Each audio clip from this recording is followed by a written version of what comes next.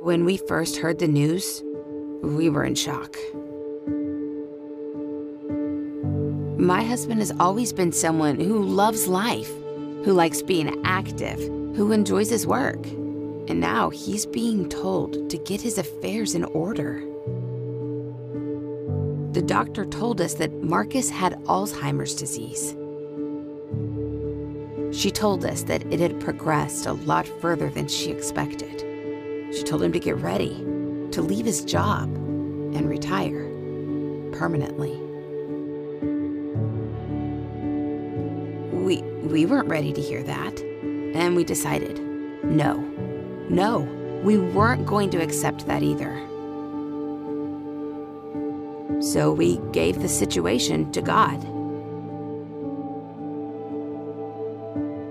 What really helped was listening to Pastor Prince's sermons, and especially the ones about the Holy Communion.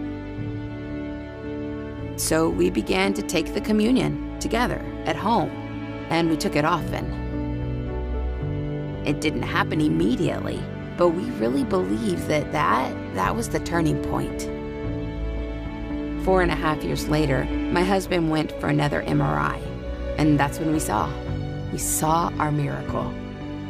Till today, I remember the look on the doctor's face. She was so confused.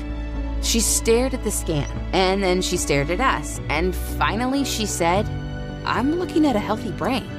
There's no sign of Alzheimer's disease here. So, there was nothing left for her to do but to remove the diagnosis.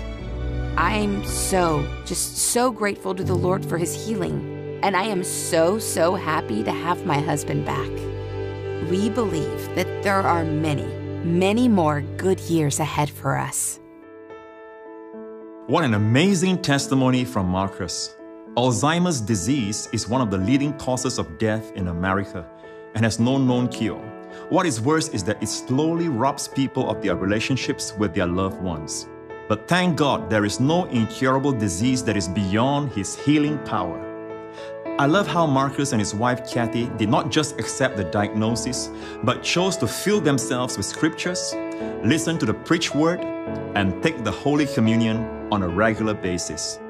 Every time they partook of the bread and the cup, divine healing was being released into Marcus' mind until he was completely healed. This is just one of many real stories of people who have experienced the healing power of the Holy Communion. My friend, if you are facing a challenge in your health today, will you partake of the communion like Marcus did? I am believing with you that what God did for him, he can also do for you.